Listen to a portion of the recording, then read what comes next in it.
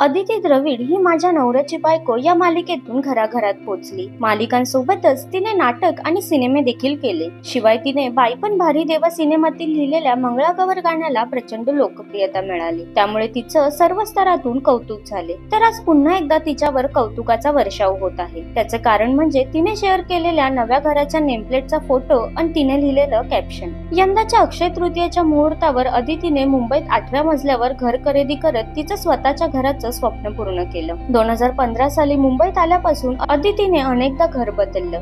परंतु दोन हजार एकोणीसमध्ये कोरोनाच्या काळात शूटच्या शेवटच्या दिवशी भाड्याचं घर सोडलं. पण शूट आणखी एक दिवस वाढल्यावर दुसरीकडे कुठेही राहायची सोय न केल्यामुळे अदिती पुष्कळ्यात पडली. त्या दिवशी रात्री अचानक तिला रेवती लिमये भेटली. आणि तिची अडचण लक्षात घेऊन रेवती तिला तिच्या घरी घेऊन गेली. आधी तिची अडचण दूर झाली असली तरी ती त्या रात्री झोपलीच नव्हती. पण त्याच दिवशी तिने ठरवलं की स्वतःचं घर घ्यायचं. आणि आता घर घेतल्यावर अदितीने हा प्रसंग सर्वांसोबत शेअर केला. हे वाचून सर्वच भावूक झाले. पण सर्वांनी तिचं कौतुक करत फुलांनी डिझाईन केलेल्या नव्या नेमप्लेटची स्तुती देखील केली. तर अदितीच्या नव्या घराचा रूम नंबर तुम्हाला माहीत असेल तर आम्हाला कमेंट करून नक्की सांगा.